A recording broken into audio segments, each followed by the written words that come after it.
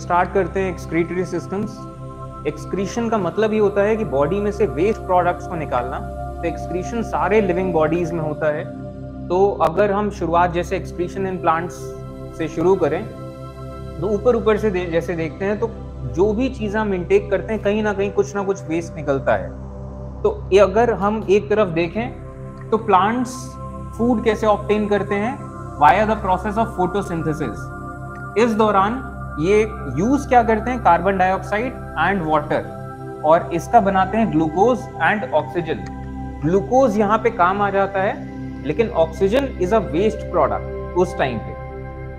तो day time में oxygen is a waste product तो ये ऑक्सीजन का ही वेस्ट प्रोडक्ट फिर हमारे लिए यूजफुल बन जाता है. तो ऑक्सीजन ये स्टोमेटा के थ्रू निकल जाता है.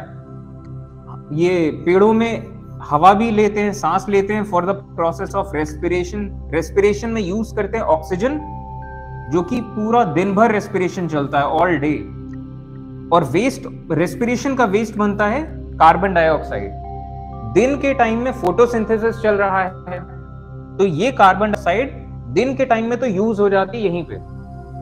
लेकिन रात के टाइम पे जब फोटोसिंथेसिस नहीं चल रहा फोटोसिंथेसिस भी लाइट रिएक्शन डार्क रिएक्शन है लेकिन दिन के टाइम में जब लाइट रिएक्शन नहीं है तो फिर ये कार्बन डाइऑक्साइड रिलीज़ होता है। प्लांट्स को भी एक्सेस वाटर जो इनका निकलता है, इससे इसको रिड ऑफ़ करना पड़ता है by the process of transpiration जो पत्तियों से पानी इवेपोरेट होता है और फिर इसी प्रेशर के चलते ही पानी फिर रूट से ऊपर की तरफ़ आ पाता है। इसके बाद प्लांट्स नाइट्रोजन का बहुत यूज़ करते हैं। प्लांट्स का जो क्लोरोफिल है, ये इसका बेसिक कंपोनेंट्स में है नाइट्रोजन तो ये प्लांट बॉडी इतनी सिंपल सी बॉडी वैसे तो बहुत कॉम्प्लेक्स है, लेकिन सिंपल इस सेंस में हम कह रहे हैं कि हमने नाइट्रोजन को मतलब एब्जॉर्ब करना ये प्लांट के सिस्टम में नहीं है एम्बेडेड ये सिस्टम तो नाइट्रोजन फिक्सेशन करते हैं बैक्टीरिया और ये रूट से ऐसे कंपाउंड्स को एक्सट्रैक्ट करते हैं। तो plants get nitrogen by soil और जब नाइट्रोजन का यूज़ कर रहे हैं नाइट्रोजन के इस तरीके से कंपाउंड्स का तो वेस्ट प्रोडक्ट्स निकलते हैं in the form of nitrogenous waste ठीक है तो इस तरीके से एक्सक्रीशन इन प्लांट्स चलता है तो अलग अलग इनके पार्ट से अलग अलग टाइप ऑफ़ वेस्ट निकलते हैं। इनको हम थोड़ा सा और ज़्यादा डेप्थ में देखेंगे जब हम प्लांट्स पर्टिकुलरली डिस्कस करना शुरू करेंगे। यहाँ पे हमने बस ये बताने के लिए शुरू किया कि एक्सक्रीशन सारे लिविंग बॉडीज में होता है। और चाहे कार्बन डाइऑक्साइड स्टोमेटा से निकल जाए ऑक्सीजन स्टोमेटा से निकल जाए वाटर वेपर भी स्टोमेटा से वायर ट्रांसफॉर्मेशन ट्रांसपिरेशन जो सॉलिड वेस्ट हैं या फिर और भी जो टाइप ऑफ़ वेस्ट है, कई बार इनके ब्रांचेस में स्टोर हो जाते हैं तो ब्रांचेस से निकल जाते हैं। कई टाइप ऑफ़ वेस्ट इनके पत्तियों में स्टोर हो जाते हैं तो पत्तियों में निकल जाते हैं, फलों में स्टोर हो जाते हैं, वहाँ से निकल जाते हैं। कई बार वो गम्स एंड रीजन के फॉर्म में बन जाते हैं, कई सारे प्लांट्स में। तो रबर के जैसे हमें निकलता है। स्टेम आप काट दीजिए तो एक लिक्विड जैसा निकलने लगता है। ऑयल्स जो बनते हैं, ये भी इसमें भी वेस्ट डाल दिए जाते हैं। हमारे लिए यूजफुल है, इनके लिए वो वेस्ट प्रोडक्ट है। अब यहाँ से हम शुरू करते हैं एक्सक्रीशन इन ह्यूमन बींग्स तो यही जो प्रोसेस हमने प्लांट्स में देखा, यही प्रोसेस ह्यूमंस में हो रहा है। तो ह्यूमंस भी रेस्पिरेशन करते हैं तो हमें रेस्पिरेटरी वेस्ट निकलते हैं बॉडी से। रेस्पिरेटरी वेस्ट कैसे सबसे मेन है कार्बन डाइऑक्साइड एंड वाटर ये वाटर तो निकल जाता है via the process of sweating इसके बाद हम न्यूट्रिशन लेते हैं तो यहाँ से एक तरफ़ बनते हैं डाइजेस्टिव वेस्ट एंड जो एक्स्ट्रा वाटर ज़्यादा पानी आपने पी लिया तो बॉडी में एक्स्ट्रा वाटर भी जो है उस वो भी एक तरीके से वेस्ट है उसको भी निकाला जाएगा। अब डाइजेस्टिव वेस्ट में आते हैं तो पहला तो नाइट्रोजनस वेस्ट निकलते हैं। अलग अलग बेसिकली तीन फॉर्म्स में, एक फॉर्म है यूरिया दूसरा है यूरिक एसिड तीसरा है अमोनिया इन तीन फॉर्म्स में नाइट्रोजनस वेस्ट निकलते हैं। अच्छा नाइट्रोजनस वेस्ट बनते कहाँ पे हैं? लिवर में बनते हैं। जब लिवर इन डेड प्रोटीन रिमेन्स को डाइजेस्ट करता है ब्रेक डाउन करता है, जितना भी ये न्यूट्रिएंट्स हैं, जो इंटेस्टाइन एब्जॉर्ब करती है ब्लड में डालती है, वो सब आते हैं लिवर में और लिवर का ये भी काम है कि जितना भी न्यूट्रिएंट्स आए हैं, उनमें जो कुछ चीज़ें स्टोर करके रख ले फॉर फ्यूचर यूज़ तो ये जो एक्स्ट्रा एमिनो एसिड्स हैं, इनको जब लिवर चेंज कर देता है ग्लूकोज में, इस टाइम पे एक प्रोडक्ट निकलता है जिसको हम कहते हैं यूरिया और ये यूरिया पॉइजनस है। अगर ज़्यादा क्वांटिटीज में अगर हमारे बॉडी में यूरिया हो जाए तो ये पॉइजनस चीज़ है और इसकी वजह से डेथ भी हो जाती है। जैसे कॉलरा किसी को हो जाता है तो कॉलरा में डेथ हो जाती है, इसी वजह से क्योंकि बॉडी में यूरिया की क्वांटिटी ज़्यादा हो जाती है। अब कैसे होता है, वो हम आगे देखेंगे। बॉडी में एक्सेस सॉल्ट्स कोई भी चीज़ अगर एक्सेस में है तो वो वेस्ट है। तो बॉडी हमारी एक्सेस NaCl भी बनाती है। Vitamin B and vitamin C भी जब एक्सेस में हो जाते हैं तो इनको भी एक्सक्रीट किया जाता है। इसके अलावा बाइल पिगमेंट्स ये भी एक्सक्रीशन में आते हैं। और बाइल पिगमेंट्स किस तरीके से आते हैं? लिवर जो है, ये बनाता है येलो कलर का bilirubin from the break down of haemoglobin of जो डेड आरबीसी जो डेड आरबीसी है, जब इनका ब्रेक डाउन होता है तो एक येलो बिलीरूबिन बनता है। और यही येलो बिलीरूबिन ये भी एक्सक्रीट किया जाता है इसका एक पार्ट ठीक है तो यहाँ से क्लियर हो गया कि कुछ रेस्पिरेटरी वेस्ट है, कुछ डाइजेस्टिव वेस्ट है, कुछ एक्स्ट्रा वाटर है। एंड डाइजेस्टिव वेस्ट में हमने कई सारे देख लिए। अब यहाँ पे एक सवाल उठता है कि हमारा जो यूरिन है और जो हमारा एक्सक्रीटा है, ये येलो ब्राउन कलर में क्यों होता है? लिवर का ज़िक्र आया बिलीरुबिन का ज़िक्र आया तो फिर यहाँ से देखना शुरू करते हैं, एक आइडिया आपको रहेगा। तो जो डेड आरबीसी होते हैं डेड रेड ब्लड सेल्स इनका काम होता है ऑक्सीजन को इधर से उधर कैरी करना तो हीमोग्लोबिन इनके अंदर होना चाहिए। तो बाय डिफ़ॉल्ट इनका कॉम्पोजिशन ऐसा है कि जब ये टूटते हैं तो एक कंपाउंड बनता है बिलीरुबिन ये बिलीरुबिन पहुँचता है लिवर में, और लिवर इस चीज़ से क्या यूजफुल बना सकता है? तो बिलीरुबिन का यूज़ करता है लिवर इन बाइल जो बाइल जूसेस हैं, जो कि यूज़ होते हैं for the digestion of fats fats and lipids तो बाइल के बारे में अभी तक हमने इतना जान रखा है कि ये स्टोर किया जाता है गॉल ब्लैडर में, और इसका नाम है डाइजेशन ऑफ़ फैट्स ये येलो ग्रीन कलर का होता है बाइल थोड़ा सा येलोइश ग्रीन इसके बाद जब डाइजेशन होता है तो bile comes out of duodenum अब बाइल पहुँचता है इंटेस्टाइन्स में. इंटेस्टाइन्स में होते हैं बैक्टीरिया और ये बैक्टीरिया काम करते हैं दोबारा से इस बिलीरूबिन पे दे ब्रेक डाउन बिलीरूबिन और जब बिलीरूबिन को ये ब्रेक डाउन करते हैं तो इससे दो अलग अलग टाइप ऑफ़ प्रोडक्ट्स निकलते हैं. एक प्रोडक्ट एक होता है येलो ब्राउन पिगमेंट जो कि जाके मिल जाता है इनटू अवर फीसीज ये हमारे फीसीज को येलो ब्राउन कलर देता है। एक दूसरा प्रोडक्ट निकलता है यूरोबिलिनोजिन जो कि ये हमारे ब्लड में मिल जाता है और फिर इसको किडनीज जो हैं, जो किडनीज हमारे ब्लड को प्योरीफाई करती हैं, ये इसको डाल देती है यूरिन में। तो यही येलोइश कलर यूरिन में आ जाता है। तो अगर हम कहें कि हमारा एक्सक्रीटर येलो ब्राउन क्यों होता है तो उसका basic reason dead RBC RBC से बिलीरूबिन निकला। बिलीरूबिन का जब ब्रेक डाउन हुआ तो फिर इससे ऐसे कंपाउंड्स निकले कि जिसकी वजह से एक्सक्रीटा येलो ब्राउन होता है। And colour of the faeces ये डिपेंड करता है कि कितना बिलीरूबिन निकल रहा है। एंड बिलीरूबिन के इंटरेक्शंस कैसे हो रहे हैं बॉडी के अंदर। कई सारे चीज़ों पे कलर ऑफ़ फीसीज चेंज करता है। आप कौन सी दवाई ले रहे हैं, क्या है, आपका बॉडी कंपोजिशन कई जगहों ठीक है तो ये चीज़ क्लियर हो गई है। अब एक्सक्रीशन हमने अभी तक देखा, ये चीज़ कि रेस्पिरेटरी वेस्ट भी हैं डाइजेस्टिव वेस्ट भी हैं तो इनके अलग अलग ऑर्गन्स हैं। तो ये रहे एक्सक्रीटरी ऑर्गन्स तो पहला, अगर हम एक तरफ़ से देखना शुरू करें तो रेस्पिरेशन से शुरू करते हैं। तो पहला तो हो गया लंग्स जो कि एक्सक्रीट करते हैं कार्बन डाइऑक्साइड एक तरफ़ हो गया स्किन स्किन में है स्वेट ग्लैंड्स जो कि excess water and excess salt को ये वाया स्वेट ये रिलीज़ कर देते हैं। थोड़ा बहुत यूरिक एसिड और लैक्टिक एसिड भी वाया स्वेट निकल जाता है। तो ये तो हो गया रेस्पिरेशन का and excess water and salts अब ये है डाइजेशन वाली चीज़। डाइजेशन में शुरुआत लिवर से आप करते हैं। लिवर क्या करता है? डिटॉक्सिफाई अमोनिया जो भी हम खाते पीते हैं, जो भी नाइट्रोजनस चीज़ें, उसके जो वेस्ट बनते हैं, इनको डिटॉक्सिफाई करता है और कन्वर्ट कर देता है यूरिया में। ये यूरिया जाके मिल जाता है ब्लड में और ब्लड से इस यूरिया को फिर साफ़ करती हैं हमारी किडनीज। और लिवर का एक और काम है टू ब्रेक बैड कोलेस्ट्रॉल और जो ब्लड में कहीं अल्कोहल आ गया, कुछ ड्रग्स आ गई, कुछ दवाइयाँ, कुछ भी एनीथिंग तो ये लिवर ही इनको ब्रेक करता है। और ब्रेक करने के दौरान जो भी कुछ वेस्ट प्रोडक्ट निकले, ये लिवर बनाता है।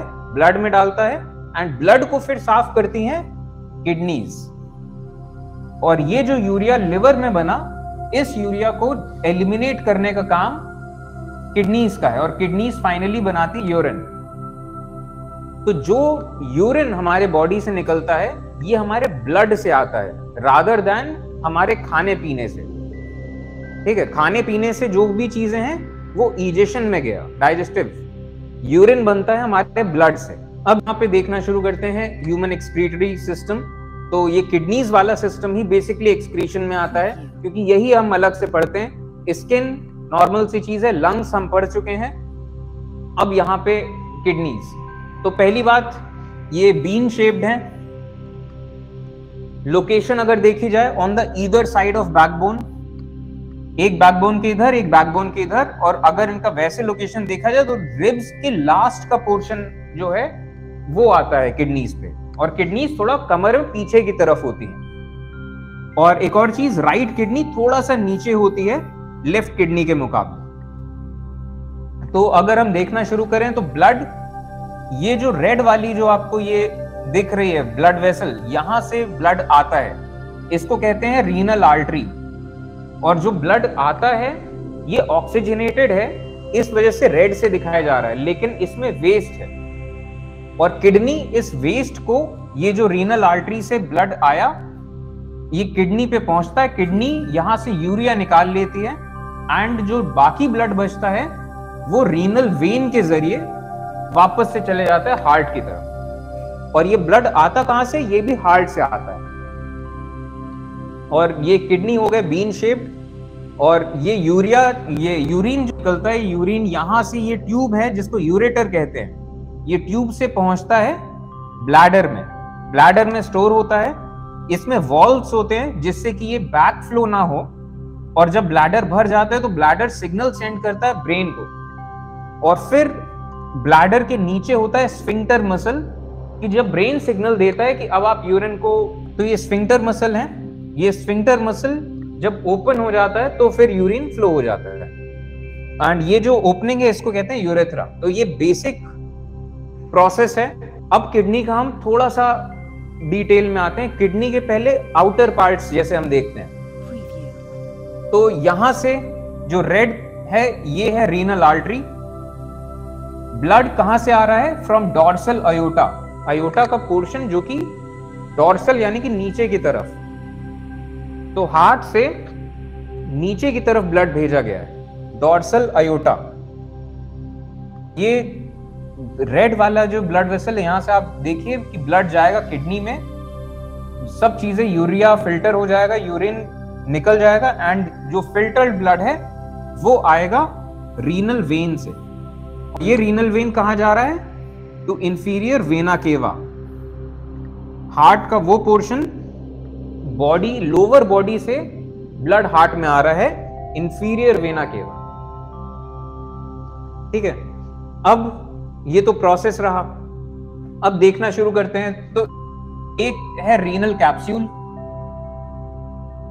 रीनल कैप्सूल ये आउटर जो कवरिंग है इसकी, इसके बाद जो किडनी के बाहर वाला पोर्शन है आउटर एरिया ये थोड़ा सा डार्क भी है। इसको हम कहते हैं कॉल्टेक्स ये कॉल्टेक्स बार बार ज़िक्र आएगा। बाहरी पोर्शन को हम कॉल्टेक्स कहेंगे। और इनर पोर्शन जो है, जो इनर पोर्शन इसको हम कहेंगे मेड्यूला ये जो आपको दिख रहे हैं, ये सब इनर पोर्शंस ये थोड़ा सा लाइट है। ठीक है तो ये मेड्यूला है। और हम देखते हैं कि ये जो कॉल्टेक्स है कॉल्टेक्स का पोर्शन ये अंदर की तरफ़ आया है थोड़ा थोड़ा सा। ठीक है, ये जो आपको दिखाई दे रहा है। कॉल्टेक्स का पोर्शन अंदर की तरफ़ घुसा हुआ है, कि मतलब छत का पोर्शन है और वो नीचे तक आया है कॉलम बनाया है, फिर से ऊपर चला गया ऐसे कॉलम्स को हम कहते हैं रीनल कॉलम्स तो ये तो आउटर पार्ट हुआ और अंदर की तरफ़ ऐसे पिरामिड्स आपको दिखेंगे जिनको हम रीनल पिरामिड्स कहते हैं। ठीक है? नेफ्रॉन, जो यूनिट ऑफ़ इसका किडनीज है, वो इस तरीके से अरेंज रहते हैं कि उनका जो हेड है, वो कॉल्टेक्स में रहेगा एंड जो डाउन है उनका पोर्शन वो इधर रहेगा मेड्यूला में। ठीक है तो ऊपर ऊपर से ये चीज़ क्लियर हुई एंड ब्लड फिर ये यूरिन जो है यूरिन निकलेगा ट्यूब कॉल्ड यूरेटर ठीक है तो अभी हमने आउटर पोर्शंस देखे हैं किडनी के। और ये इसी वजह से कर रहे हैं कि आपको एक एक करके चीज़ें याद हो। ठीक है तो यहाँ पे सब क्लियर है अभी? रीनल कैप्सूल बाहर का एरिया कॉल्टेक्स और बाहर का एरिया डार्क है। अंदर का एरिया मेड्यूला अंदर का एरिया लाइट है। और रीनल कॉलम्स एंड ऐसे पिरामिड्स हैं। एक, दो, तीन, चार, पाँच, छह छह जैसे यहाँ दिख रहे हैं तो ऐसे पिरामिड्स हैं। अब यहाँ से किडनी का जैसे हम देखते हैं वर्किंग तो किडनी बनी है मेड ऑफ़ नेफ्रॉन्स ब्लड आता है किडनी के अंदर, इससे वेस्ट निकल गया ब्लड वापस चला गया। और जब आप किडनी पे जूम इन करेंगे तो आपको नेफ्रॉन मिलेगा। अभी फ़िलहाल इसमें और कुछ चीज़ें देखते हैं तो शुरुआत जैसे हम देखते हैं रीनल आर्टरी से ब्लड आया। रीनल वेन से ब्लड निकल गया वेस्ट निकल गया यूरेटर से। ठीक है, ये तीन चीज़ों हमने देख लिया। अब एक एक करके बाकी चीज़ें देखते हैं। ये है रीनल कॉल्टेक्स ये जो आउटर डार्क एरिया है। ये जो इनर लाइट एरिया है, ये जो पूरा ये ये है रीनल मेड्यूला ठीक? इसके बाद ये है जो ऐसे पिरामिडल शेप आपको दिख रहे हैं, ये है रीनल पिरामिड्स ये स्ट्राइब्ड सब्सटेंस है जो कि पिरामिड्स में भरा है। नेफ्रॉन्स मिले हैं तो ऐसा स्ट्राइब्ड सब्सटेंस आपको दिखेगा कि कुछ ऐसा सब्सटेंस है। माइक्रोस्कोप में देखेंगे तो आपको नेफ्रॉन दिखेगा। नेफ्रॉन नेफ्रॉन सेल्स हैं और ये सब्सटेंस है। तो सेल्स ऑब्वियसली माइक्रोस्कोपिक है। ठीक है तो वही वही वाली बात है कि हमारा दिल, अगर आप यूँ देखेंगे कि हमारा दिल है माइक्रोस्कोप से देखेंगे तो आपको कार्डियक सेल्स दिखाई दे ठीक है? इसके बाद ये हो गए रीनल कॉलम्स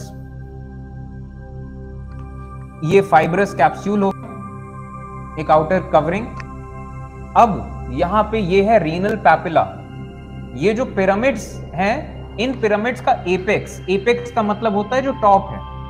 ये टॉप जो है, ये वाला पोर्शन ये जैसे आप कह सकते हैं. ये है रीनल पैपिला इनका टॉप ये यूँ करके यूँ आए हैं. तो इनका टॉप अंदर की तरफ़ है और ये मेड्यूला वाले पोर्शन में आ रहा है। अब इसके बाद ये चीज़ हम देखते हैं कि वेस्ट कहाँ से बना?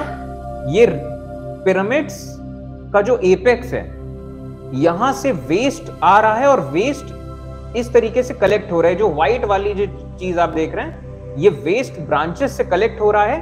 कलेक्ट होते होते ये यहाँ तक आया। और यहाँ पे ये चीज़ है, ये जो ये पोर्शन की जहाँ से ब्रांचिंग शुरू है इसकी वेस्ट वाले इस ट्री की। इसे हम वेस्ट का ट्री के जैसा कह सकते हैं। इसे हम कहते हैं हाइलियम ये होता है नॉच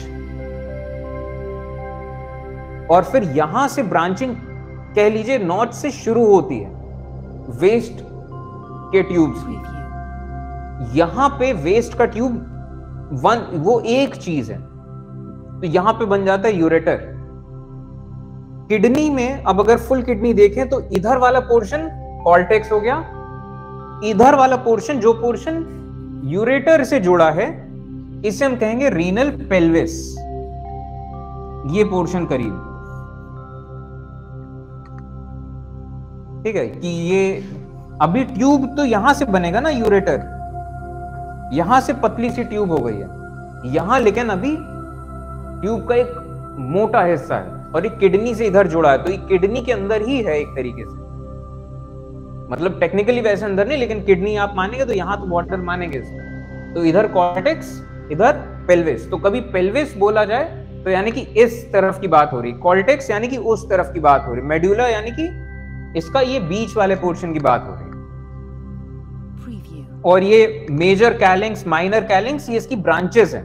ये जैसे एक स्टेम स्टेम के बड़े ब्रांच, ये हैं बड़े ब्रांच। और ये बड़े ब्रांच फिर से ब्रांच हुए हैं। तो माइनर कैलिंग्स ये वेस्ट के चीज़ें हैं कि ब्लड आया और यहाँ पे नेफ्रॉन्स लगे हुए हैं तो नेफ्रॉन्स ब्लड को फ़िल्टर करेंगे और वेस्ट यहाँ पे जमा करते रहेंगे। तो सारा का सारा वेस्ट इन वाइट वाली जगहों से इकट्ठा होके आते रहेगा और निकल जाएगा। अब यहाँ पे हम देखते हैं प्रोसेस ऑफ़ यूरिन फॉर्मेशन तो ये है आर्टरी ब्लड हार्ट से आया है और फिर चला जाएगा।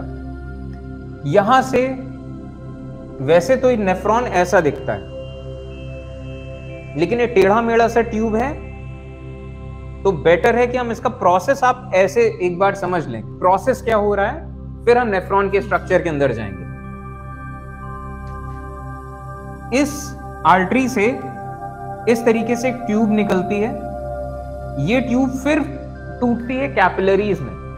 पतले पतले कैपिलरीज। और कैपिलरीज का एक ऐसा नॉट के जैसा है। मतलब नॉट है पूरा एक। और फिर ये नॉट निकलता है फिर यहाँ से। तो इधर ब्लड जहाँ से आया, इसको हम कह सकते हैं एफरेंट आर्टियोल। रीनल आर्टरी से जो जुड़ा है एफरेंट आर्टियोल यहाँ पे अगर हम देखें तो ये रही रीनल आर्टरी इस रीनल आर्टरी से, और इसमें भी ब्रांचिंग हो रही है, ये किसी और नेफ्रॉन से जुड़ा है, ये ब्रांच किसी और नेफ्रॉन से जुड़ा है, वो आगे बढ़ता जा रहा है ब्लड और हर ब्रांच के साथ एक नेफ्रॉन उसे मिल रहा है। ये वाला नेफ्रॉन इस ब्रांच से आया तो ये है एफरेंट आर्टियोल ब्लड एंटर कर रहा है। यहाँ पे मिला एक नॉट अब ये जो ट्यूब है, ये पतली है और इधर की ट्यूब मोटी है। तो ये पतली ट्यूब है। अगर आप ये एक्सपेरिमेंट के जैसा पाइप के साथ भी कर सकते हैं। एक तरफ़ पतला पाइप लगाएँ, एक तरफ़ मोटा पाइप लगाएँ। पतले पाइप में ज़्यादा प्रेशर होगा। और ये घूमा भी खूब है। तो इसकी वजह से यहाँ प्रेशर बहुत ज़्यादा है।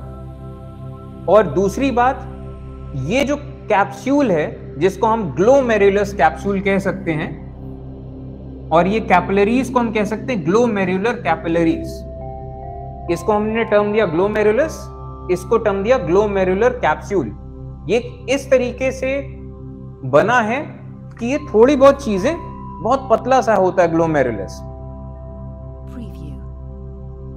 ये है जैसे ग्लोमेरुलस ऐसा एक हॉलो फुटबॉल के जैसा है। ठीक है? ये ग्लोमेरुलस और ये इस तरीके से इसकी जो वॉल्स हैं, वो कुछ ऐसी सी हैं कि यहाँ से जो पतले पार्टिकल्स हैं मतलब छोटे पार्टिकल साइज़ में, वो निकल जाएँगे और बड़े पार्टिकल्स रह जाएँगे। ठीक है? तो ये चीज़ यहाँ पे होती है, जो छोटे साइज़ के पार्टिकल्स हैं, वो सब के सब निकल जाएँगे। बड़े पार्टिकल्स यानी कि blood cells and protein cells glucose नहीं ग्लूकोज तो इधर, छोटे पार्टिकल में। Protein cells and red blood cells and ये ब्लड सेल्स ये रह जाएँगे सिर्फ़। और ये निकलेंगे किससे? एफरेंट आर्टियोल से। और ये एफरेंट आर्टियोल फिर चलता रहेगा। यहाँ पे हमने जितने भी छोटे साइज़ के पार्टिकल्स हैं, वो अलग कर लिए छोटे साइज़ के पार्टिकल्स में यूजफुल प्रोडक्ट्स भी हैं वेस्ट प्रोडक्ट्स भी हैं। अब आगे के साथ में क्या होता है? इसे कहते हैं रीएब्जॉर्प्शन ये से तो कहा गया अल्ट्रा फिल्ट्रेशन हमने फ़िल्टर कर लिए. बड़े पार्टिकल्स जाने दिए, छोटे पार्टिकल सारे रख लिए. यहाँ पे जितने यूजफुल पार्टिकल्स हैं, वो रीअब्सॉर्ब हो जाएँगे. और ये बड़े पार्टिकल्स के साथ यूजफुल पार्टिकल छोटे साइज़ के भी मिल गए. इसके साथ साथ जो कुछ और चीज़ें हैं, वो इसमें फिर से चली गई. कौन सी चीज़ें जैसे क्रिएटिन कुछ और ऐसे आयंस हैं वो भी रीअब्सॉर्ब हो गए। तो यहाँ पे इस वाली ट्यूब में क्या बचा? सिर्फ़ वेस्ट बचा। और यहाँ से ब्लड आया छोटे पार्टिकल्स अलग हो गए बड़े पार्टिकल्स अलग हो गए छोटे पार्टिकल्स में जो यूजफुल थे वो दोबारा से ब्लड में मिल गए तो ब्लड फ़िल्टर हो गया पूरा। तो ये प्रोसेस तो पहला यहाँ पे जो अल्ट्रा फिल्ट्रेशन के बाद जो प्रोडक्ट बचा, इसको हम कहेंगे ग्लोमेरुलर फिल्ट्रेट ठीक है? वाटर और छोटे पार्टिकल्स जो कि प्रोटीन्स के साइज़ के कंपैरिजन में छोटे हैं, ये निकल जाते हैं via the pores of glomerulus इसके जो छोटे छोटे छेद हैं, इसके बाद ये जो आगे के टाइम में होता है ट्यूब्यूलर रीएब्जॉर्प्शन यहाँ से ट्यूब शुरू होती है। तो ट्यूब में रीएब्जॉर्प्शन हुआ एंड लास्ट का पोर्शन है ट्यूब्यूलर सिक्रीशन ट्यूब से कुछ और जो चीज़ें हैं, जो वेस्ट है, वो सिक्रीट हो जाती हैं. तो ये रियलिटी में कुछ इस तरीके का दिखता है. तो रीनल आर्टरी हो गया एफरेंट आर्टियोल हो गया.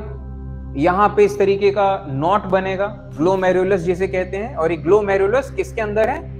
एक हॉलो एक हॉलो एक बॉक्स है। ठीक है?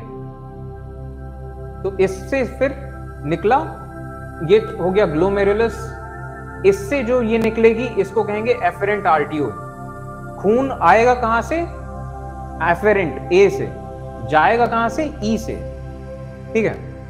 अब इसके बाद जितना भी यूजफुल चीज़ें हैं, वो सब छोटे साइज़ की यूजफुल चीज़ें यहाँ से आ गई। यहाँ पे बोमैंस कैप्सूल खत्म है, जो बॉर्डर आपको दिख रहा है, यहाँ से ट्यूब शुरू है। ठीक है? ट्यूब का ट्यूब को भी ये बड़ी सी, लंबी सी ट्यूब है, इसको भी हमने तीन हिस्सों में डिवाइड किया है। पहला हिस्सा इसका यहाँ तक रहा करिए तो इस हिस्से को हमने नाम दिया ये प्रॉक्सिमल कॉन्वोल्यूटेड ट्यूब प्रॉक्सिमल का मतलब नज़दीक।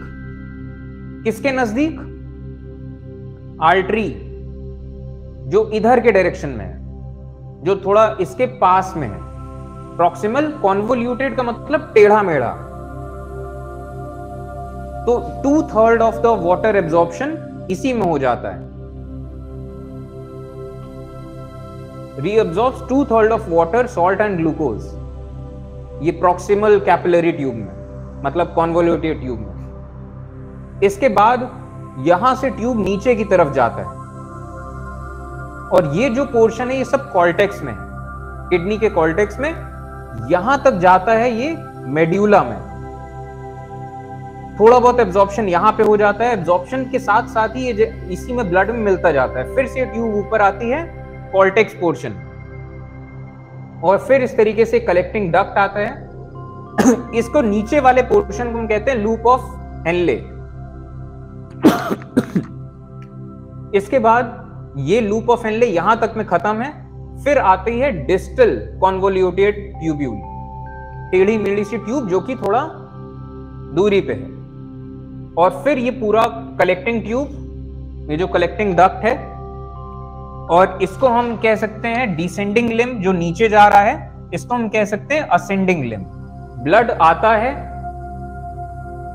ये वाली जो ट्यूब है, ये पतली है इट इज़ नैरो तो इस वजह से ज़्यादा प्रेशर है तो एफरेंट आर्टियोल से निकलने पे ही पहुँचता है ग्लोमेरुलस यहाँ पे हो जाता है अल्ट्रा फिल्ट्रेशन यानी कि जितना भी लिक्विड पोर्शन है, वो लिक्विड पोर्शन सारा करीब निकल जाता है, इसमें यूरिया ये जो वेस्ट है, वो भी है यूजफुल चीज़ें भी हैं ग्लूकोज एमिनो एसिड्स वाटर फिर ये ग्लोमेरुलस से पहुँचता है ट्यूब्यूल में। ट्यूब्यूल में यूजफुल थिंग्स एब्जॉर्ब हो जाती हैं। बचता है सिर्फ़ यूरिया और फिर ये एफरेंट से तो यहाँ निकल ही गया था और फिर ये सब एब्जॉर्ब होता चला जाता है।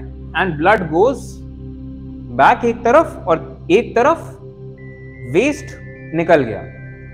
ये मोर प्रेशर में है ये वाला लेस प्रेशर में है। क्यों? क्योंकि ये वाइडर होता है। तो ये बेसिक प्रोसेस हो गया। इनके कुछ और पॉइंट्स देख लेते हैं। तो ये जो बोमैंस कैप्सूल है, ठीक है, ये बोमैंस कैप्सूल ये बहुत थिन वॉल्ड होता है ऑब्वियसली तभी फ़िल्टर कर पाएगा। सिंगल सेल्ड एपिथेलियल सेल्स का है। जैसे कि आपको दिखाएँ, ये ये वॉल ऑफ़ ग्लोमेरुलस है मतलब ये बोमैंस कैप्सूल पतला सा है कि ब्लड आए तो स्मॉल पार्टिकल सबके सब निकल जाए। ये एक हॉलो बॉल के जैसा है बोमैंस कैप्सूल हॉलो बॉल ऐसा। कि हमें सब फिगर 2D में बने हैं लेकिन रियलिटी में 3D वो एक चीज़ आई वो एक बैटरी जैसा होता है या सेल जैसा होता है कुछ ऐसा सा वो एक ओवल टाइप की ओवल क्या मतलब राउंडेड ही कुछ ऐसा ऐसा है। हॉलो बॉल है, एक तरफ़ ये जुड़ा है ट्यूब से, कि बोमैंस कैप्सूल यहाँ से ट्यूब से जुड़ा है। ग्लोमेरुलस ये नॉट ऑफ़ कैपिलरीज है, और इन दोनों का ग्लोमेरुलस और बोमैंस कैप्सूल इन दोनों के कॉम्बिनेशन को हम कहते हैं मैल्फीजियन कैप्सूल या renal capsule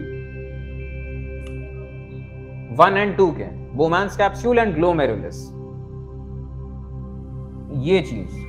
इसके बाद PCT proximal convoluted PCT nearer to Bowman's capsule ये कॉल्टेक्स में लाया करता है। कॉल्टेक्स और अब आपको यहाँ विजुअलाइजेशन बेटर होगा। किस तरीके से अरेंज है, इस तरीके से। और लूप ऑफ़ हेनले नीचे तक आता है मेड्यूला तक। ये जो आप देख रहे हैं, इसने डिपॉजिट किया कहीं इधर मतलब यहाँ तक करीब आ रहा है मेड्यूला तक। और फिर ऊपर गया है वापस एंड फिर उसने कलेक्टिंग डक्ट में दिया है और ऐसे कई सारे कलेक्टिंग डक्ट मिलके यहाँ पे बेस में फिर एक बड़ा डक्ट बना रहे हैं, जो कि फिर और बड़े डक्ट से मिल रहा है, जो कि फिर और बड़े डक्ट से मिल रहा है। और ये पीसीटी इसी में two third of the things useful things absorb हो जाती हैं, थोड़ी बहुत चीज़ें लूप ऑफ़ हेनले में एब्जॉर्ब हो जाती हैं, और डिस्टेंट कॉन्वोल्यूटेड ट्यूब ये भी कॉल्टेक्स में लाए करता है, और फिर ये एक तरफ़ जुड़ा है कलेक्टिंग डक्ट से, जो कि होता है मेड्यूला में। ठीक है तो इस तरीके से ये लाए कर रहे हैं किडनीज में। Loop of Henle runs in medulla and returns to cortex medulla से ये वापस से फिर कॉल्टेक्स की तरफ़ घूम जाता है। और आप ब्यूटी भी देख सकते हैं कि कितना मार्वल है ये, और किस तरीके से हम माइक्रोस्कोपिक स्केल में जा रहे हैं। तो रीनल आर्टरी, ये बड़ी आर्टरी, ब्रांच बनी।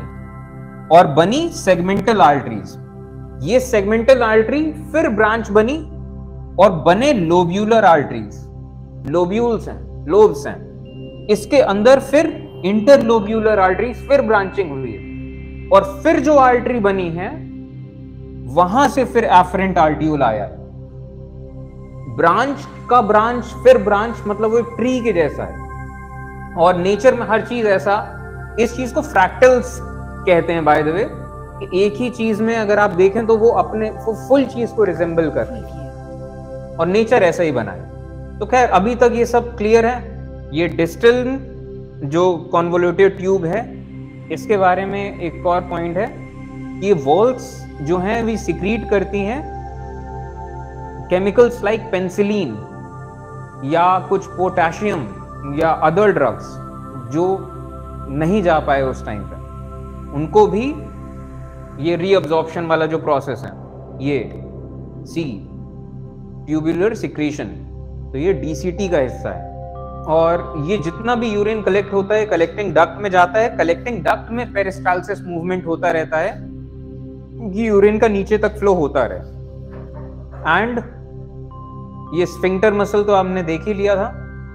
और जब यूरिन पास होता है यूरेथ्रा से तो इस प्रोसेस को मिक्ट्यूरेशन कहते हैं। मिक्ट्यूरेशन। अब यहाँ पे आता है characteristics of urine normal urine तो अमाउंट 24 घंटे में एक से दो लीटर करीब करीब, और ये डिपेंड करता है कि आप कितना पानी पी रहे हैं और कितना वाटर लॉस हो रहा है। अगर आप ज़्यादा पानी पियेंगे, ज़्यादा यूरिन निकलेगा। मतलब ये बैलेंस है, जितना पानी पियेंगे पानी कितना स्वेटिंग से निकला। ज़्यादा पानी पिया स्वेटिंग कम है तो यूरिन ज़्यादा निकलेगा। पानी कम पिया स्वेटिंग ज़्यादा है तो बॉडी जितना भी वाटर है, उसको ज़्यादा रीअब्जॉर्ब करेगी तो यूरिन कम निकलेगा, और जब कम निकलेगा तो कॉन्सेंट्रेटेड निकलेगा और। कलर क्या हुए हैं? स्ट्रॉ एंड एम्बर हल्का सा येलोइश और अगर डार्कर कलर का है तो यानी कि ज़्यादा कंसेंट्रेटेड है। और यूरिन का ऑप्टिमम कलर क्लियर होना चाहिए, हल्का सा येलो रहे नॉर्मल है लेकिन ज़्यादा येलो नहीं होना चाहिए। ज़्यादा येलो का मतलब आप पानी की कमी है शरीर में। It should not be cloudy clear बिल्कुल। स्पेसिफिक ग्रेविटी वन के आसपास है वन से थोड़ा सा ज़्यादा है। ठीक है और स्पेसिफिक ग्रेविटी का मतलब क्या? It is the measure of dissolve material in urine urine में कितना ज़्यादा material dissolve lower the value more dilute the urine जितना कंसेंट्रेट होगा वैल्यू बढ़ेगा। पीएच क्या है? स्लाइटली एसिडिक हल्का सा acidic composition 95 percent water 5 percent urea other product salts ये सब चीज़ें 95 परसेंट लेकिन वाटर इसमें नाइट्रोजनस वेस्ट किस फॉर्म में urea uric acid and creatine और यूरिया कैसे बनता है? From amino acid metabolism creatine from muscle metabolism and uric acid from nucleic acid metabolism अभी सिर्फ़ नाम आया है इलेवेंथ में ये चैप्टर फिर से आएगा और फिर ये सब भी होगा आपके अंदर। ठीक है? अगर क्वांटिटी के सेंस में देखें तो यूरिया 2.3 ग्राम्स पर लीटर इतना होता है urea? Grams per litre creatine कितना होता है? 1.5 uric acid 0.7 sodium 9 gram per litre. Potassium chloride 2.5 ammonia 0.6 gram per litre. Odour, इसकी महक कैसी है? स्ट्रॉन्ग फाउल स्मेल और फाउल स्मेल जो है, वो किस वजह से है? अमोनिया के प्रेजेंस में एंड बैक्टीरिया अगर आप अमोनिया आपके, कभी आप ये सूंघे उसे तो बिल्कुल ऐसी टॉक्सिक सी स्मेल आएगी। कि जैसे पब्लिक वॉशरूम्स में आती है। हाँ। तो जो पब्लिक वॉशरूम्स जो साफ़ नहीं है और जो एक इंटेंस स्मेल आती है, वो अमोनिया के प्रेजेंस की वजह से आती है। टेस्ट तो ये यूरिन का काम वेस्ट यूरिया एंड सॉल्ट तो टेस्ट ऑब्वियसली इसका सॉल्टिश होगा। और कई बार स्वीटिश हो जाता है जिन लोग को डायबिटीज़ होता है। डायबिटीज़ में क्या है? बॉडी में ब्लड ग्लूकोज लेवल बढ़ जाएगा। ब्लड ग्लूकोज ग्लूकोज थोड़ा मीठा होता है तो इसका जो सॉल्टनेस है, उसको ओवर पावर कर देगा। तो किसी को डायबिटीज़ है तो उसका यूरिन स्वीटिश होगा।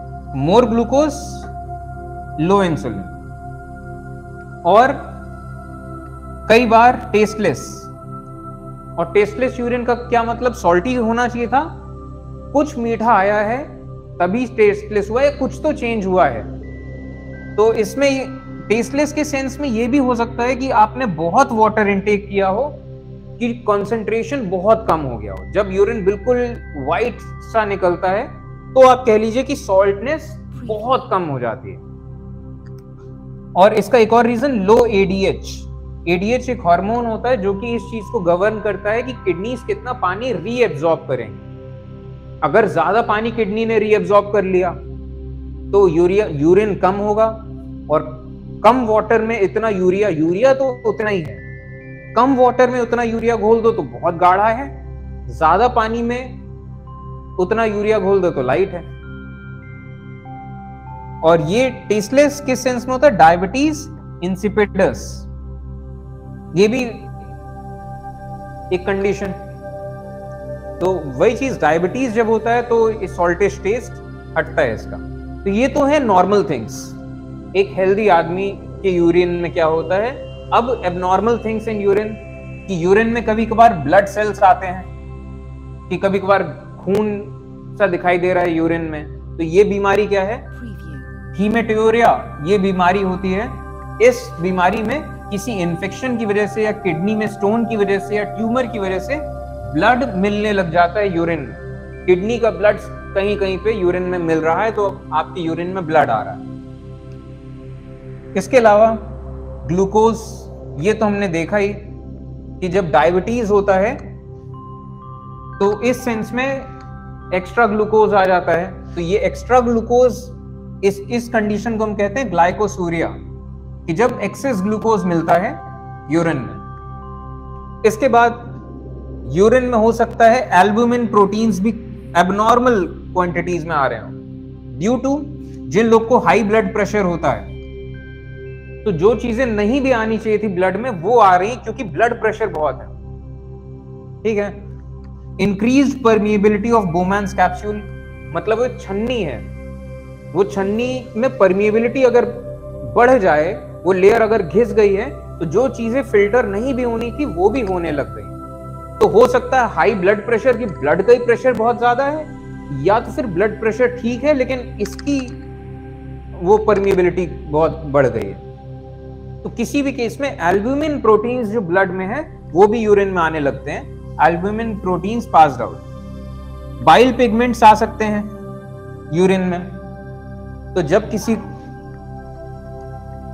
बाइल बहुत सारे अलग अलग चीज़ों का मिक्सचर है तो पिगमेंट बस बोल दिया गया उसे कि बाइल के किन चीज़ों का एक ये मिक्सचर है।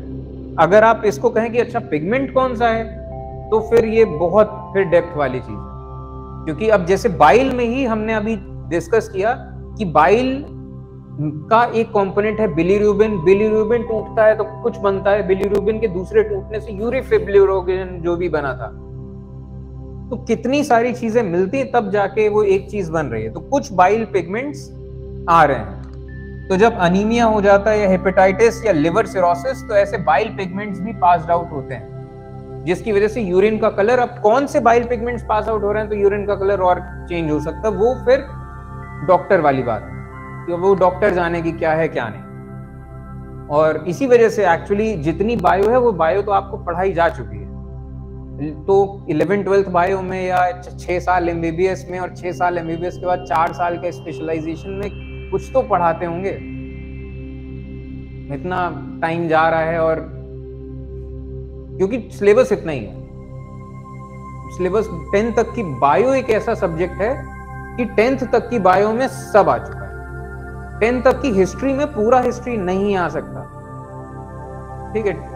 मतलब वो इंट्रोडक्शन भी नहीं हो सकता। टेंथ तक की मैथ्स में पूरा मैथ्स ये इकलौता ऐसा सब्जेक्ट है। प्लांट आपने पढ़ लिया, उसका सब पढ़ लिया।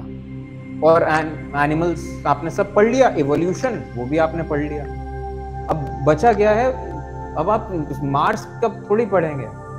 वहाँ पे पढ़ेंगे बायो बायोलॉजी वही है। बस अब डिफरेंस बस यही बचा है कि हम सिक्स क्लास में फोटोसिंथेसिस आया plant uses sun to make their own food ninth में फोटोसिंथेसिस आ रहा है तो आप अभी इस लेवल पे चल रहे हैं कि ज़िक्र हुआ है लाइट रिएक्शन डार्क रिएक्शन का, और ये सब ट्वेल्थ इलेवेंथ में फिर फोटोसिंथेसिस आएगा। फिर वो डार्क रिएक्शन कैसे होता है, उसका इक्वेशन आ रहा है। फिर और डेप्थ में आ रहा है। बायो में जब फोटोसिंथेसिस आएगा एमबीबीएस में, उसका फिर अलग कोर्स है। जैसे एमबीबीएस की भी किताबें हमारे पास रखी हैं, कभी देखना चाहें तो आप देख लीजिएगा। ठीक है तो ये एबनॉर्मैलिटीज हैं। डायबिटीज़ का ज़िक्र आया तो डायबिटीज़ के बारे में जैसे बताएँ इंसुलिन एक ऐसा हार्मोन होता है जो एक चाबी के जैसा है। मतलब इन द सेंस नेचर में सब चीज़ें शेप पे डिपेंड करती हैं। शेप क्या है? तो जो ब्लड में ग्लूकोज है ये ग्लूकोज सेल को चाहिए लेकिन सेल ऐसा नहीं कि पूरा खुला हुआ है। खुला हुआ तो खत्म हो जाएगा। वो किले के जैसा है। कोई चीज़ खुद से आ जाए, लग जाए तो उसके लिए जैसे दरवाजे, खिड़कियाँ होती हैं और वो पर्टिकुलर किसी एक चीज़ को एंट्री देगा, बाकी चीज़ों को एंट्री नहीं देगा।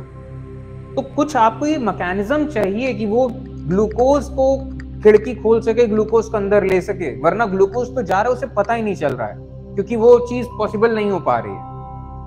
तो इंसुलिन एक ऐसा हार्मोन है जो कि इनके रिसेप्टर सेल्स में लग जाता है तो ग्लूकोज को बाइंड कर लेता है और ग्लूकोज चला जाता है बॉडी सेल्स में। ये इंसुलिन का काम है। तो इंसुलिन कभी भी आएगा तो it helps in the break down of glucose ऐसा सा कुछ होता है और हेल्प्स इन ब्रेक डाउन का क्या मतलब?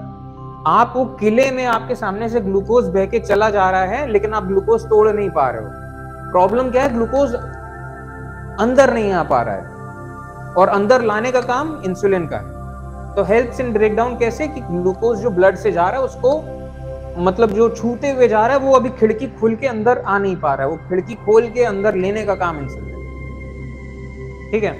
तो ये चीज़ में शुरुआत ऐसे होती है कि अच्छा ये इंसुलिन बनता कहाँ पे है? पैंक्रियाज में। तो पैंक्रियाज ज़्यादा इंसुलिन जब बनाते हैं, ज़्यादा इंसुलिन होगा तो इतनी सारी खिड़कियों में, बहुत खिड़कियाँ खुलते खुलते अंदर ग्लूकोज आने लग जाएगा। तो जब पैंक्रियाज ज़्यादा इंसुलिन बनाने लगता है ब्लड में ज़्यादा इंसुलिन है तो ज़्यादा खिड़कियाँ खुल रही ज़्यादा ग्लूकोज आ जा रहा है। तो जो सेल्स हैं, वो इंसुलिन रेजिस्टेंस बनाते हैं। कि हर इंसुलिन को खिड़की खोलने का वो नहीं हो। कुछ इंसुलिन रेजिस्टेंस बन रहा है। तो इसके चलते हो रहा है इंसुलिन जो पैंक्रियाज है, वो जो फील करता है इंसुलिन कम बन रहा है या ग्लूकोज लेवल कम हो रहा है। क्योंकि जब ग्लूकोज आ ही नहीं पाएगा तो सेल ग्लूकोज ब्रेक डाउन नहीं कर पाएँगे। तो वो ज़्यादा इंसुलिन बना रहा है और ये ज़्यादा इंसुलिन रेजिस्टेंस बना रहा है। अब इसके चलते क्या होता है, जब इंसुलिन रेजिस्टेंस बहुत ज़्यादा हो गया तो ब्लड में इसी चीज़ में आगे के टाइम में लो इंसुलिन हो रहा है तो ब्रेक डाउन ऑफ़ ग्लूकोज भी कम होगा। ब्लड में ज़्यादा ग्लूकोज बह रहा है। आगे आगे के टाइम में। शुरुआत ऐसे होती है इंसुलिन ज़्यादा बना रहा है और इंसुलिन रेजिस्टेंस बन रहा है। ब्लड में ग्लूकोज ज़्यादा चला जा रहा है क्योंकि ग्लूकोज एब्जॉर्ब होकर टूट नहीं रहा है। आगे जैसे जैसे वक्त आगे बढ़ता है, ये इतना ओवर वर्क कर रहा है पेंक्रियास कि इंसुलिन इसके सेल्स मरने लग जाते हैं। मरने लग जाते हैं तो कम इंसुलिन बन रहा है और इधर हो गया इंसुलिन रेजिस्टेंस तो अब वो खिड़की खुल के ग्लूकोज अंदर आ ही नहीं पा रहा है। क्योंकि इंसुलिन ही कम बन रहा है और इंसुलिन रेजिस्टेंस हो चुका है कि अब वो खिड़की तीन इंसुलिन आएँगे, तब खुलेगी कुछ इस टाइप का। आप एनालाइज करिए बायोलॉजिकली गलत स्टेटमेंट दे रहा हूँ, लेकिन कुछ इस सेंस में आप इंसुलिन रेजिस्टेंस को समझने की कोशिश कर सकते हैं। ज़्यादा इंसुलिन चाहिए, वही काम करने के लिए, और इंसुलिन इतना काम कर चुका है एक्स्ट्रा वर्क में कि अब उसके सेल्स डेड हो गए। कि उसने रेस्ट के टाइम में रेस्ट लिया नहीं तो अब एग्जॉस्ट हो गए डेड हो गए तो अब वैसे ही इंसुलिन कम है। तो आपके सेल्स को ग्लूकोज ही नहीं मिलेगा तो आप इंसुलिन एक्सटर्नली लीजिए। वो process matured phase of diabetes में शुरुआत कैसे होती है? इंसुलिन ज़्यादा बन रहा है। पैंक्रियास ज़्यादा काम कर रहा है। ठीक है तो ये डायबिटीज़ है। इसके चलते ब्लड में ग्लूकोज लेवल बढ़ जाता है। और ब्लड में ग्लूकोज लेवल जब बढ़ गया तो भी दिक्कत है। ब्लड वेसल्स के लिए बहुत ज़्यादा। और ग्लूकोज लेवल कम है तो भी दिक्कत है। ये नॉर्मल ग्लूकोज लेवल ग्लूकोज जितने चाहिए उतने हैं। हाई ब्लड ग्लूकोज ज़्यादा ग्लूकोज है। और लो इंसुलिन होगा तो ग्लूकोज ज़्यादा ही होगा। अच्छा ग्लूकोज ज़्यादा होगा तो इसकी वजह से बहुत दिक्कतें आएँगी। ठीक है तो ये चीज़ रही। ये तो डायबिटीज़ के सेंस में हमने देखा। इसके बाद हमने बिलीरूबिन एंड लिवर का ज़िक्र किया तो यहीं से आता है जॉन्डिस जॉन्डिस पीलिया जिसे कहते हैं। तो यहाँ पे क्या होता है? ड्यू टू एनीथिंग कि मतलब लिवर में सूजन है लिवर में कुछ गड़बड़ हुई है ड्यू टू एनीथिंग कई सारे इसके कॉजेज हैं। तो लिवर का जो बाइल है बाइल ज़्यादा मतलब वो रिलीज़ हो जा रहा है और इस सब के चलते ये बाइल का ही जो येलोइश कलर है, ये हमारे स्किन तक पहुँच रहा है। तो ये आपको पीलिया जैसा दिख रहा है वो एंड वो इंडिकेट कर रहा है कि लिवर में कुछ गड़बड़ है। तो आप इसका प्रॉपर ट्रीटमेंट करिए। ठीक है, और तो बिली रूबिन है जो कि स्किन तक पहुँच रहा है एंड ज़्यादा ऐसा एक्सक्रीट हो रहा है जॉन्डिस छोटे बच्चों के जॉन्डिस बहुत होता है। तो क्यों? जॉन्डिस होता है तो अल्ट्रा वायलेट लाइट में इनको रखा जाता है। और अल्ट्रा वायलेट लाइट की वजह से क्या होता है? जॉन्डिस क्यों बन रहा है? बेसिकली बिलीरूबिन ज़्यादा है। बिलीरूबिन का कुछ केमिकल स्ट्रक्चर है। जब लाइट पड़ती है तो अल्ट्रा वायलेट लाइट की एनर्जी, ये कुछ इस तरीके का है कि अल्ट्रा वायलेट लाइट की जब एनर्जी आती है तो ये थोड़ा सा एनर्जेटिक हो जाते हैं, आउटर शेल्स में चले जाते हैं। और जब ये एनर्जी लूज करते हैं, वापस से कुछ अपने नॉर्मल लेवल में आते हैं तो इनका कॉन्फ़िगरेशन चेंज हो जाता है। अगर आप देखें कितने एटम बाइल में हैं उतने ही एटम इसमें भी हैं, ये वही चीज़ है, कुछ अलग से आके जुड़ नहीं गया, चला नहीं गया। मतलब वो केक के जैसा समझिए कि वो एक एनर्जी आई, केक मतलब वो अलग शेप में आ गया, लेकिन अब जब वो एनर्जी चली गई तो ओरिजिनल में नहीं है, वो अपने दूसरे एक फॉर्म में वही चीज़ है एग्जैक्टली exactly उतने ही एटम्स लेकिन अलग शेप में लग गए हैं तो एटॉमिक लेवल पे वो अलग शेप में लग गए हैं तो आप अगर उस दुनिया से बाहर इस दुनिया में आए तो जो कंबाइंड उन एटम से मिलके जो चीज़ बन रही है, वो सॉल्यूबल हो जाएगी इन वाटर और वो यूरिन के सहारे निकल जाएगा। तो जो चीज़ फंसी हुई थी, अटकी हुई थी, वो अचानक से सॉल्व हो जा रही सिर्फ़ बस आपने उसका फॉर्म चेंज किया। और ये इलेवन ट्वेल्थ की केमिस्ट्री है कि ये मतलब इसको स्टीरियोमेरिज्म कहते हैं स्टीरियो केमिस्ट्री वैसे थोड़ा बहुत आपकी में इंट्रोडक्शन थोड़ा सा आएगा, लेकिन आइसोमेरिज्म्स में है कि जेड आइसोमर बन रहा है, जैसे लिखा भी है जेड आइसोमर वही मतलब एक स्ट्रक्चर है, उन्हीं एटम्स से, लेकिन बस उनका फॉर्म बदल गया थोड़ा सा। फॉर्म इन द सेंस कि ये इस तरफ़ राइट साइड लगे थे, ये ये चीज़ें इधर से, इधर आ गई तो और बस एटम एक, वो एक स्ट्रक्चर वो स्ट्रक्चर से बनने वाली चीज़ हो सकता है बिल्कुल अलग प्रॉपर्टीज़ हो जैसे ग्लूकोज ग्लूकोज हम जनरली बोलते हैं ग्लूकोज भी दो फॉर्म का है डेक्स्ट्रो लीवो तो ग्लूकोन डी जो है वो डेक्स्ट्रो फॉर्म है। वो अगर आप खाएँगे, आपकी बॉडी में एनर्जी आएगी। और वही एटम्स बस एक फंक्शनल ग्रुप जो उसका एक बंच कहीं और लग जाए तो ग्लूको वो बन जाता है लीवो फॉर्म ग्लूको एल वो अगर आप खा लें तो आप की एनर्जी जाएगी, आप और थके फील करेंगे। लेकिन उसका यूज़ नहीं होता तो कोई सेंस नहीं उसका ग्लूको एल इसी वजह से कोई नहीं आता ग्लूकॉन डी जानते हैं डेक्स्ट्रोफॉर्म ठीक है तो वही चीज़ ग्लूकोज में इतना हमें दिखाई देता है कि वही मॉलिक्यूल है, लेकिन बस उसका शेप थोड़ा चेंज हो गया तो बिल्कुल अलग प्रॉपर्टी हो गई। अब यहाँ पे आता है रेगुलेशन ऑफ़ यूरिन आउटपुट ये हम नेक्स्ट क्लास में देखेंगे और अगले और ये चैप्टर खत्म है कह लीजिए। पाँच मिनट का है बस, पाँच दस मिनट, और फिर हम करेंगे क्वेश्चन इस चैप्टर के, और फिर आगे फिर आगे बढ़ेंगे। फिर आगे हम जाएँगे नर्वस सिस्टम में, जो कि आप कह सकते हैं कंट्रोल कोऑर्डिनेशन उसका पूरा पार्ट है। ठीक है, चलिए एंड करते हैं। Thank you